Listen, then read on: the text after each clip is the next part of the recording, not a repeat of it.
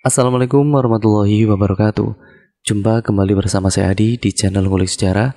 Dan pada video kali ini saya akan kembali lagi membacakan suatu kisah misteri. Nah kali ini berjudul Kutukan Kembang Desa. Cerita pada kali ini ditulis oleh Mas Ram dan Nahdi. Yuk daripada kita penasaran bagaimana ceritanya Kita langsung saja menuju ke ceritanya. Perhatikan baik-baik karena ceritanya akan segera saya mulai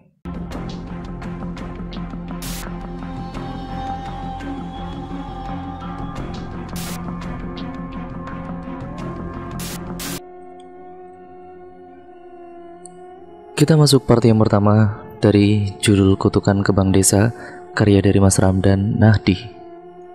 Dar, kamu yakin mau nyari pengasuh buat Khalid? Tanya ibu yang masih kurang setuju dengan ideku. Kaidar yakin bu, balasku. Ibu telepon Mbak Tuti ya. Mbak Tuti ini dulunya pengasuhku sewaktu kecil. Nggak usah bu, biar aku cari sendiri saja.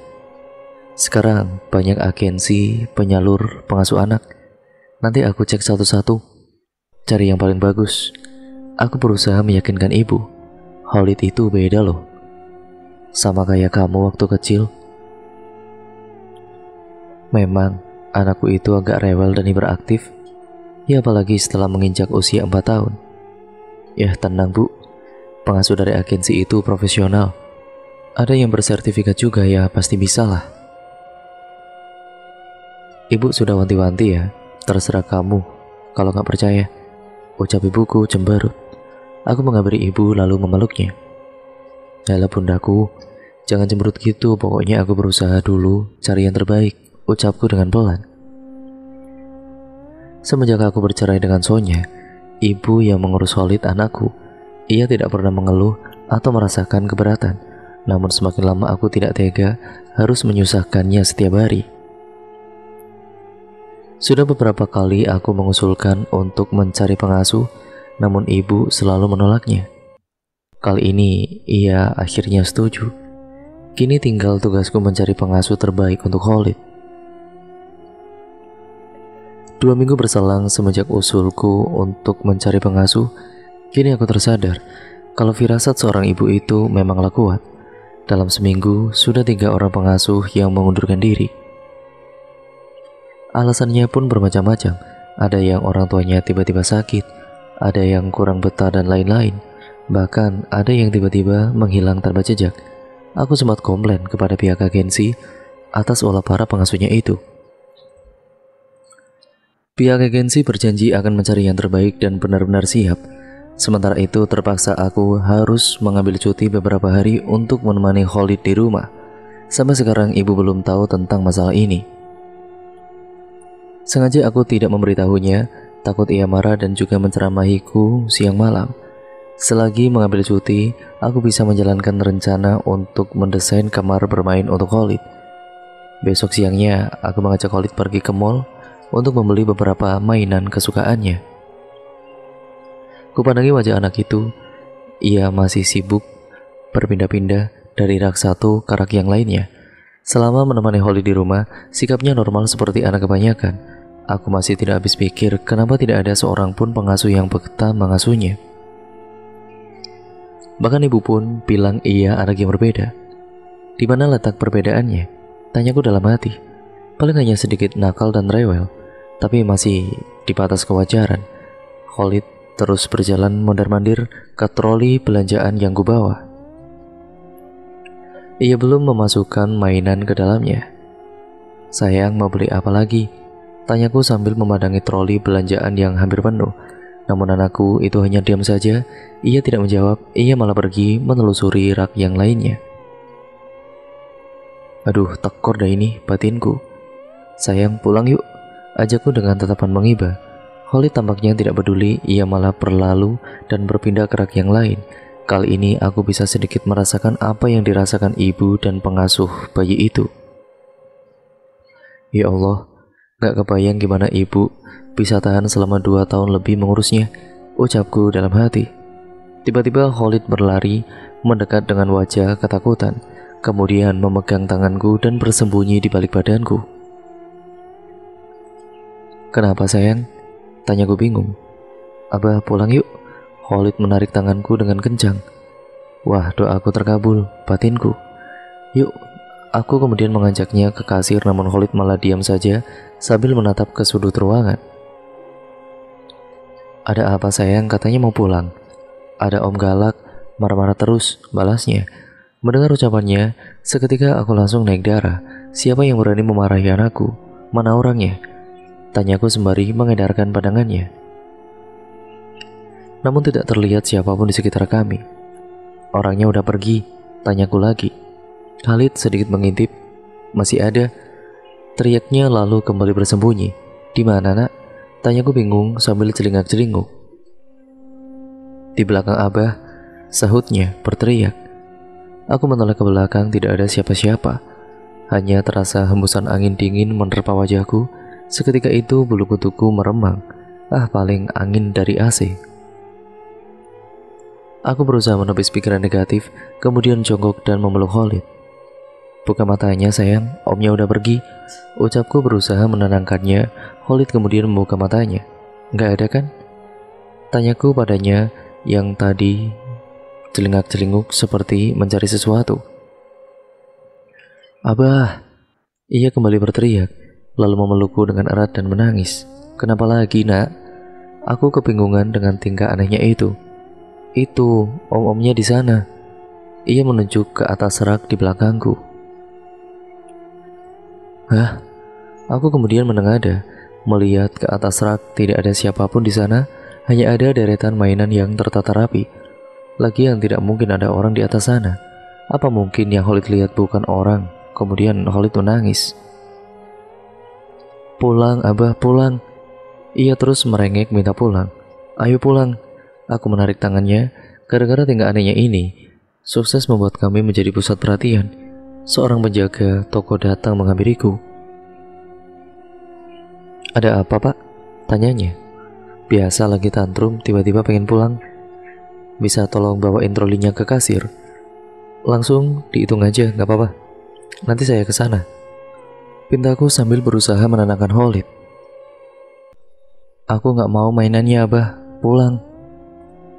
Ucap Holid pada kala itu ketika tahu troli belanjaannya mau dibawa. Jadi gimana pak? Tanya wanita penjaga toko. Aduh gimana ya, aku bingung menghadapi situasi macam ini. Ku elus rambut Holid, lalu kemudian memegang kedua pipinya sambil mengusap air matanya. Holid harus berani, kan Abah ada di sini. Sekarang pilih mainan mana yang mau dibawa pulang, ucap lembut. Tidak lama kemudian, Holid sudah mulai tenang dan membuka matanya. Kurai sebuah mainan di rak belakang. Sayang, uh, main ini aja, jangan lihat ke mana-mana. Ucapku sambil memberikan sebuah rubik untuk mengalihkan perhatiannya. Usahaku berhasil, ia mulai memutar rubik itu. Sayang, mainan mana yang mau dibawa pulang? Tanya aku. Semua abah, balasnya. Membuatku sedikit menyesal menanyakan hal itu. Aku mendorong troli itu ke kasir sementara Khalid berjalan di sampingku. Lengannya masih menggenggam dan menggeser-geser warna rubik itu. Wanita penjaga toko tadi tersenyum. Jadi semuanya pak, balasku dengan pasrah. Ku tatap wajah Khalid, lalu mengelus rambutnya. Sementara itu, bunyi alat pengecek harga terus terdengar dari mesin kasir. Semuanya jadi 6.725.000 pak, ucap kasir dan aku menarik nafas dengan panjang. Eh, uh, debitnya mbak, ucapku sambil menyerahkan kartu ATM yang tiba-tiba terasa lebih berat. Uh, tidak apa-apa, sekali-kali mengeluarkan uang lebih. Toh ini demi kebahagiaan anak semata wayangku. Batinku menghibur diri, sembari memasukkan kembali semua mainannya ke dalam troli. Eh, mbak, ini rupiknya lupa dihitung. Aku lupa dari tadi, Holid masih memegang rubiknya. Itu buat anaknya aja, Pak. Wah, makasih banyak. Mungkin karena aku sudah belanja banyak, jadi ada bonus. Tahu begitu, tadi ku ambil barang yang lebih mahal. Loh, kok udahan? Kan warnanya belum sama semua. Bosan, Abah? Holid sepertinya sudah lupa kejadian di toko tadi. Ia sudah kembali ceria dan berlari-lari mendekati deretan toko Aku terus memperhatikannya, tidak bisa melepaskan pandangannya. Sesekali harus berhenti aku untuk menariknya ketika ia berniat masuk ke dalam toko lagi. Ayo katanya tadi mau pulang. Ucapku sambil kemudian mengajaknya mendekat ke troli. Abah mau mainan itu. Holid menunjuk mainan yang terpasang di salah satu etalase toko. Ayo dek, lihat aja dulu. Rayu wanita penjaga toko itu ketika mendengar percakapan kami. Enggak mbak, ini udah banyak. Sautku sedikit kesal. Abah, Khalid menarik-narik tanganku. Sayang, nanti lagi belinya. Sekarang pulang dulu. Aku terpaksa menariknya menjauh dari toko itu. Ada diskon loh pak. Sahut penjaga toko itu, namun aku tidak menggubrisnya, terus berjalan menuju lift. Dari kejauhan kulihat pintu lift terbuka, kulambaikan tangan agar orang yang ada di dalam lift tidak menutup pintunya. Namun pintu malah tertutup, Sepertinya mereka tidak melihatku, ku tekan tombol ke bawah lalu berdiri di depan lift. Khalid mendekati lift, ia ikut menekan tombol itu sehingga membuat orang di belakangku tertawa melihat tingkahnya. Sayang, jangan dipencet-pencet. Sini dekat apa aja. Perintahku, untungnya ia menurut. Soalnya aku punya pengalaman buruk gara-gara iseng menekan-nekan tombol itu. Liftnya malah macet dan bikin heboh satu mall. Malu sekali. Kemudian, Pintu lift terbuka, kami pun masuk lebih dulu. Ku ambil posisi berdiri di paling belakang, karena tujuanku ada di lantai paling bawah. Satu persatu orang di dalam lift keluar, menyisakan aku dan Holid. Sebelum lantai tujuanku tiba-tiba lift terbuka, kulihat keluar tidak ada siapa-siapa di sana. Holid terlihat gelisah, ku tekan tombol tutup pintu, namun dalam hitungan detik pintunya kembali terbuka. Holid berpindah tempat, bersembunyi di balik tubuhku. Entah kenapa pintunya tidak juga tertutup. Abah, tutup pintunya. Holid berteriak. Bismillah. Ku tekan tombol tutup pintu, akhirnya pintu pun tertutup. Lift mulai turun ke bawah dalam hitungan detik, kami sudah sampai di basement. Ku dorong troli itu melewati pintu kaca otomatis, masuk ke area parkiran. Kulirik Khalid, ia diam saja. Tangan mungilnya terus menggenggam tanganku dengan erat, kepalanya terus menunduk, tidak mau melihat ke depan. Sesamanya di mobil, ku buka pintu depan lalu meminta Khalid duduk di sana. Sementara aku berjalan ke bagasi belakang. Abah, Khalid memanggilku. Bentar sayang, sautku sambil memasukkan satu persatu barang belanjaan.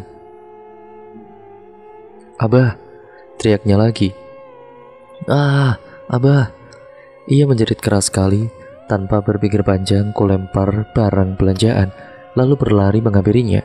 Ia menangis sambil menutup wajah dengan kedua telapak tangan. Ada apa sayang?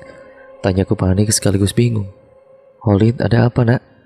Tanyaku lagi dengan suara agak meninggi, sambil kusentuh pundaknya.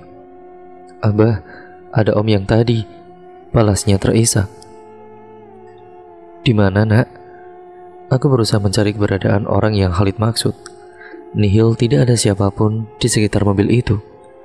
Khalid menuju kaca depan mobil, kuperhatikan baik-baik tidak ada apa-apa.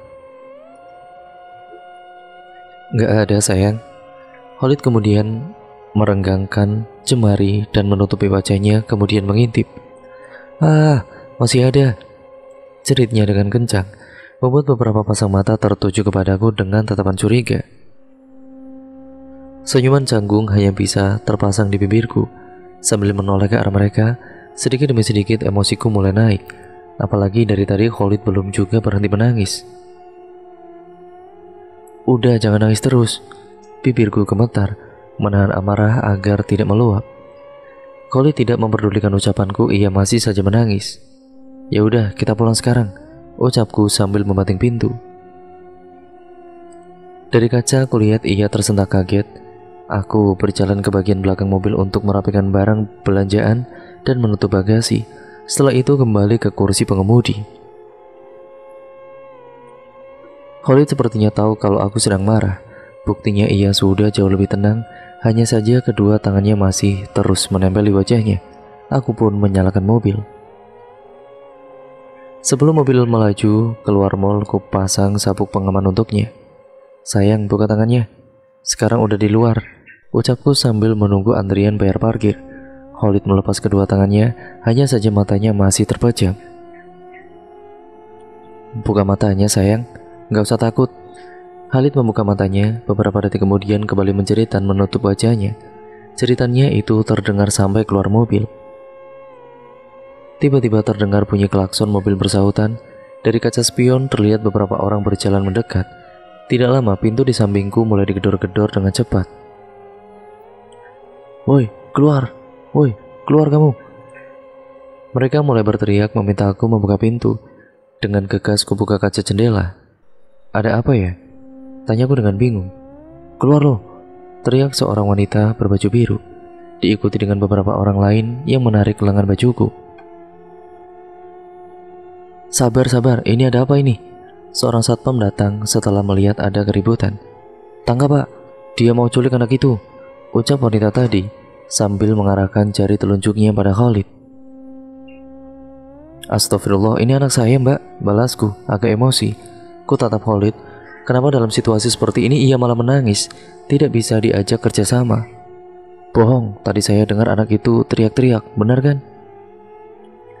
Wanita itu terus memprovokasi diikuti anggukan orang-orang yang mulai berkerumun di samping mobil. Ya Allah mbak, ngapain saya culik anak sendiri? Ucapku dengan suara mulai meninggi. Astagfirullah sabar, kumamku dengan pelan. Berusaha menahan amarah yang nyaris meledak. Bapak mending turun dulu. Satpam itu memintaku untuk turun. Aku pun turun dari mobil tidak lupa mengambil tas kecil yang berisi ponsel dan dompet. Sementara wanita itu yang masih terus nyerocos, tidak karuan. Level kesabaranku sudah berada di titik terendah bisa-bisanya hanya dengan satu sentuhan saja, mulutnya sudah kusumpal dengan tas yang ada di genggamanku. Mana buktinya kalau itu anak kamu? Tanya seorang pria berbadan tambun dan kebuka tas, lalu mengambil dompet dan ponsel, memperlihatkan pada mereka fotoku dan Holid yang terpajang di dompet. Setelah itu kutunjukkan beberapa foto kebersamaan dengan Khalid di ponsel. Uh, maaf ya pak, sudah ganggu waktunya. Satpam itu pun meminta maaf dengan sopan, sedangkan wanita tadi serta beberapa orang lainnya hanya melengos pergi tanpa mengucapkan kata maaf kepada aku. Aku langsung masuk ke dalam mobil dan duduk, sedikit termenung memikirkan kejadian tadi. Ya Allah, gara-gara Khalid, aku hampir dikira penculik. Pikirku sambil menatap wajahnya yang masih bersembunyi di balik tangan kecilnya itu. Kemajukan mobil mendekat ke loket. Berapa mbak? Tanyaku saat akan membayar parkir. Tiketnya mana pak? Balas wanita penjaga loket. Astagfirullah, maaf mbak. Pikiran yang sedang kacau membuatku lupa dengan tiket parkir. Ku cari ke mana-mana. Aduh, tadi simpen di mana ya? Kerutuku seraya mencari di atas dashboard. Tidak ada dan ku buka tas. Ternyata tiketnya ada di sana. Dengan gegas kuserahkan pada penjaga loket. 5000 pak. Ku ambil selebar uang 5000 rupiah, lalu kemudian melajukan mobil menuju rumah. Ku tatap Khalid. Seketika itu terlintas banyak pertanyaan yang muncul di benakku. Apakah ibu tahu kalau Khalid bisa melihat makhluk tidak kasat mata? Jika iya, kenapa ibu tidak pernah menceritakan ini ataupun hal ini kepadaku? Dari tadi, Khalid itu selalu bilang, Om, siapa sebenarnya Om itu? Kenapa ia terus mengikuti anakku? Ah, sungguh aku bingung dengan semua ini. Sepanjang perjalanan rasanya sulit sekali berkonsentrasi. Beberapa kali terdengar ucapan dari pengendara motor yang nyaris terserempet. Di lampu merah, kulihat orang hilir mudik, seorang pedagang asongan menawarkan dagangannya, tapi aku tidak meliriknya sedikit pun. Tatapan ini hanya tertuju pada lampu merah. Ya aku hanya ingin segera sampai di rumah, kemudian merebahkan badan, tidur, merupakan obat yang paling mujarab bila sedang emosi seperti ini. Saat sedang fokus melihat lampu merah tiba-tiba terasa sentuhan di tangan kiri. Spontanku menoleh, ternyata itu tangan Khalid. Ia tidak lagi menutup wajahnya, senyumku mengembang, diikuti gerakan tangan yang mengelus-ngelus rambutnya. Khalid malah celingak-celinguk seperti mencari sesuatu. Omnya udah gak ada, ucapnya langsung merusak suasana hatiku yang sudah mulai tenang. Namun ada perasaan penasaran yang sangat besar tentang sosok om ini. Sayang, om itu kayak gimana? Tanyaku sambil mengusap-ngusap wajahnya yang basah dengan tisu. Besar, hitam, giginya jelek, matanya merah, kukunya panjang. Khalid coba mendeskripsikan sosok tersebut.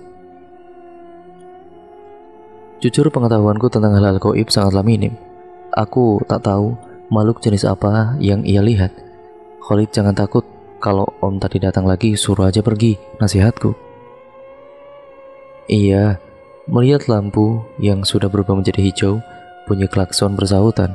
Ku injak pedal gas, melaju melewati jalan raya yang masih ramai. Duh, macet lagi. Kerutuku ketika akan melewati alun-alun. Lupa kalau setiap malam minggu selalu ada acara musik dan bazar di sana. Terpaksa aku berbalik arah, memilih untuk melewati jalan di pinggir irigasi, jalan yang terlihat lebih sepi dan gelap. Penerangannya hanya bergantung dengan lampu rumah warga. Di sepanjang irigasi, masih banyak pepohonan besar. Terlihat pula beberapa orang memarkirkan sepeda motornya di dekat pohon. Khalid hanya diam saja, tidak bersuara sedikit pun. Kulirik wajahnya yang terlihat tegang, matanya terus menyorot ke depan. Sayang, kupanggil namanya, tapi ia tidak merespon. Sayang, Panggilku sambil menoleh kepadanya. Abah, awas! Khalid berteriak sambil menunjuk ke depan dan duak. Teriakannya itu cukup mengagetkanku, ditambah ada suara benturan keras di bagian depan mobil. Dengan cepat ku injak pedal rem, hentakan mendadak itu membuat kepalaku sedikit terbentur ke setir mobil. Ku tengok Khalid, syukurlah ia tidak apa-apa. Ada yang sakit nggak sayang? Tanyaku. Abah, Khalid malah menutup wajahnya lagi. Ada apa sayang? Tanyaku dengan bingung. Abah itu. Khalid menunjuk kaca depan mobil dan astagfirullah. Sontak saja aku beristighfar ketika pemandangan menyeramkan ada di hadapan. Jantung pun berdetak sangat kencang. Rasanya nyaris meledak. Cairan berwarna merah dan juga kental mengalir secara perlahan dari atap mobilku, perlahan menutupi kaca depan. Darah, pikirku. Apakah itu benar-benar darah? Kini kaca depan sudah berubah warna menjadi merah darah. Tanganku gemetar, kaki pun terasa lemas sekali. Bahkan aku tidak sanggup membuka pintu mobil untuk mengeceknya. Apakah aku menabrak seseorang? Pikirku. Kubuka pintu perlahan. Baru saja kaki kanan menginjakan aspal jalan. Woi, kalau berhenti jangan di tengah-tengah jalan. Seorang pengendara motor meneriakiku. Spontan saja aku tutup pintu mobil. Ia hanya lewat begitu saja. Apakah tidak melihat kaca mobilku berlumuran darah? Ku ambil nafas panjang sambil mengumpulkan keberanian. Perlahan tangan ini meraih handle pintu. Pintu pun terbuka. Sebelum turun, ku ambil ponsel di dalam tas lalu menyalakan lampu sorot. Sementara Holid masih diam di kursinya, tidak bergerak dan aku melangkah keluar berjalan ke depan mobil. Ku arahkan lampu sorot ke kap mobil. Tidak ada bercak darah sedikit pun, aku terus berjalan, lalu berdiri di depan mobil, kemudian membungkuk meraba-raba bemper mobilku, dan tidak ada tanda-tanda benturan sama sekali. Kuinti bagian bawah mobil sambil menyorotnya dengan lampu ponsel. Sepasang kaki terlihat di belakang mobil, posisinya berdiri tanpa alas kaki spontan aku berdiri dan berlari ke belakang. Nihil tidak ada siapa-siapa di sana. Dari kaca mobil belakang, kulihat seseorang sedang duduk di samping Khalid alias kursiku. Dari belakang, hanya terlihat rambutnya yang panjang dengan tergopoh-gopoh aku mendekati pintu depan dan terkunci. Khalid, buka Khalid, teriakku. Sambil terus menarik handle pintu, ku tempelkan wajah ke kaca jendela mengintip ke dalam mobil. Wajah wanita itu sudah ada di hadapan. Kulit wajahnya terkelupas dengan darah yang masih menetes. Matanya nyaris terlepas dari lubangnya, mulutnya robek sampai ke pipi. Ia tersenyum menyeringai, terlihat ada darah yang menetes di salah satu sudut mulutnya. Sontak aku melangkah mundur dengan jantung yang berdegup kencang. Tubuh pun gemetar setelah melihat sosok yang menakutkan itu. Ini baru pertama kalinya aku melihat makhluk seperti itu. Aku tidak boleh takut, ucapku dalam hati terus menguatkan diri pada kala itu. Bagaimanapun Khalid masih ada di dalam mobil. Pergi sana, jangan ganggu. Kepalan tanganku terus menghantam kaca jendela. Pergi, Holid, Holid. Aku terus berteriak sambil memukul kaca. Terlihat wanita itu mendekati Holid, tangannya mendekap tubuh anakku dengan erat. Holid meningkuk ketakutan sementara wanita itu terus mendekapnya. Ia menoleh ke arahku, masih dengan senyuman menyeringai. Cairan merah turun dari atap mobil. Menetes ke wajahku, baunya anyir sekali. Aku melangkah mundur, hanya bisa melihat dengan pasrah saat seluruh bagian mobil sudah tertutup darah. Kepalaku sudah mulai pusing, mata berkunang-kunang. Tidak kuat melihat kejadian mengerikan ini, hingga aku kemudian terduduk lemas di tengah jalan. Abah, sayup-sayup terdengar suara teriakan Holid dari dalam mobil. Kini mobil sudah tenggelam dalam lautan darah. Suara Holid pun sudah tidak terdengar Ku bersimbuh memohon bantuan pada zat yang maha besar. Ya Allah, tolong aku. Ucapku dengan lirih. Air mata pun mengalir, tidak bisa terbendung lagi. Dalam keadaan pasrah, ku edarkan pandangan melihat situasi sekitar. Tidak ada satupun kendaraan yang lewat. Terakhir hanya seorang pengendara motor yang tadi menegurku. Rumah warga pun menghilang dalam sekejap, hanya terlihat deretan pohon besar yang tersorot lampu depan mobil. Nak, bangun nak. Terdengar suara seseorang di belakangku spontan ku. Seorang pria parubaya sudah berdiri di dekatku. Ia mengulurkan tangannya membantuku berdiri. Aku tertegun, bagaimana bisa dalam keadaan gelap begini, wajahnya seperti memancarkan cahaya.